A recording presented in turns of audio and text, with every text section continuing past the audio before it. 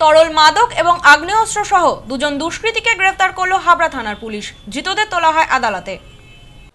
তরল মাদক সহ এক দুষ্কৃতীকে গ্রেফতার করল হাবড়া থানার পুলিশ। ধৃতের নাম পল্টু রায়।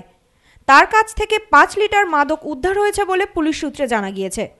তার কাছ থেকে পাঁচ লিটার মাদক উদ্ধার হয়েছে বলে জানা গিয়েছে।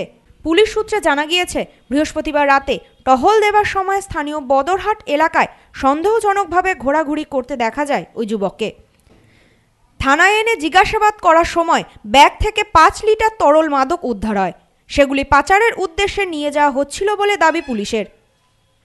অন্যদিকে, হাবড়া থানার পুলিশ স্থানীয় আমখোলা এলাকা থেকে আগ্নেয়াস্ত্র ও কার্তুজ সহ এক যুবককে গ্রেফতার করে।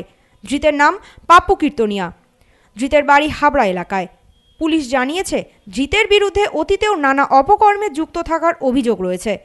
জিত দুজনকেই শুক্রবার বারাসাত আদালতে পাঠানো হয়েছে হাবড়া পুলিশের পক্ষ থেকে।